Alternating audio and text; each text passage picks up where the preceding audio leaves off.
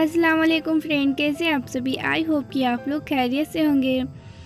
तो आप देख सकते हैं कितना प्यारा सा ब्यूटीफुल सा कैंची कवर है। तो चलिए अब इसे बनाना शुरू करते हैं। तो इसके लिए हमने एक फैब्रिक लिया एंड उसके ऊपर अपनी कैंची को रखेंगे और उसके किनारे किनारे हमने निशान लगा लेना है।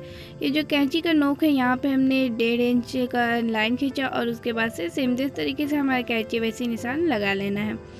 तो चलिए इन निशानों को कट कर लेते हैं और ऐसे ही हमने और तीन कट कर लेना है। और हमने बोरी पे भी इसे कट कर लिया है। बीच में इसे हमने बोरी लगाया और दोनों साइड कपड़ा एंड इस तीनों को हम बराबर करते हुए इस पर सिलाइयाँ लगा लेंगे तीनों तरफ़ से। तो ये कैंची कवर बहुत ही काम की चीज़ है। मैं आपको आगे बताती हूँ कि इसका क्या काम होता है। सबसे पहले तो इससे आपकी कैंची की हिफाजत होगी।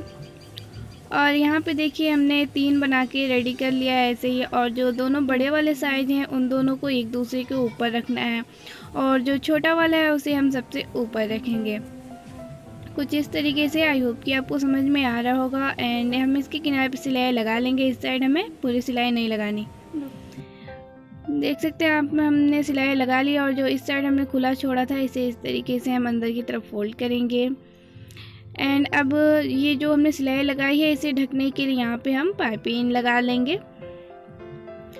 तो यहाँ पे आप देख सकते हैं, हम चारों तरफ़ से पाइपिंग लगाएँगे। तो पाइपिंग लगाना होता है जब भी तो हम इसे उल्टे साइड से लगाते हैं, जिससे कि जब भी पाइपिंग लगे, उसमें अच्छी सी फिनिशिंग आ जाए।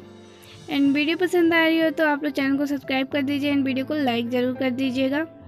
तो आप देख सकते हैं, कितना ब्यूटीफुल सा लग रहा है।